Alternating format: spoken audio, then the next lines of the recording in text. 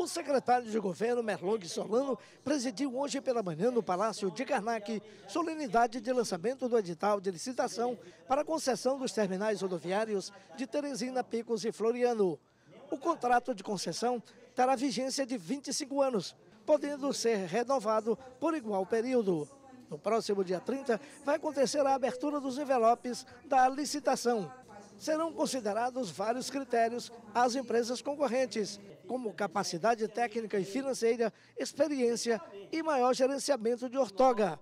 O governo do estado do Piauí será responsável pela fiscalização, qualidade dos serviços, gerenciamento do contrato, regulação de tarifas e embarque, e ainda o combate ao transporte clandestino. Para o secretário Merlong Solano, foi apenas o primeiro passo. Essa lei das concessões é de 1995, a das PPPs é de 2004, mas o Piauí, assim, é meio conservador em matéria de novidades, somente agora ousa trazer para o serviço da sociedade esse novo caminho que é um caminho em que o Estado não abre mão da sua responsabilidade de prestar serviço, mas o faz em parceria com a iniciativa privada destinando à iniciativa privada certas ações para as quais ela é melhor qualificada do ponto de vista financeiro e principalmente do ponto de vista gerencial do que o poder público. Durante a solenidade, o secretário Merlong Solano, do governo, anunciou que as PPPs vão continuar e já anunciou também qual a próxima empresa a fazer parte dessa parceria. Começamos pelas rodoviárias de Teresina, Picos e Floriano, o próximo passo será a nossa central de abastecimento, que é outra área que também é típica de iniciativa privada, que está prestando um péssimo serviço,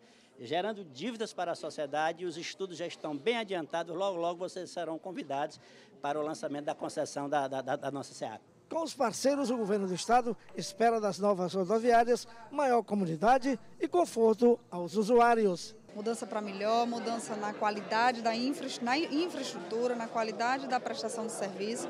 A nossa perspectiva é de que o concessionário, a partir da assinatura do contrato, já assuma fazendo algumas intervenções básicas, como limpeza, organização interna.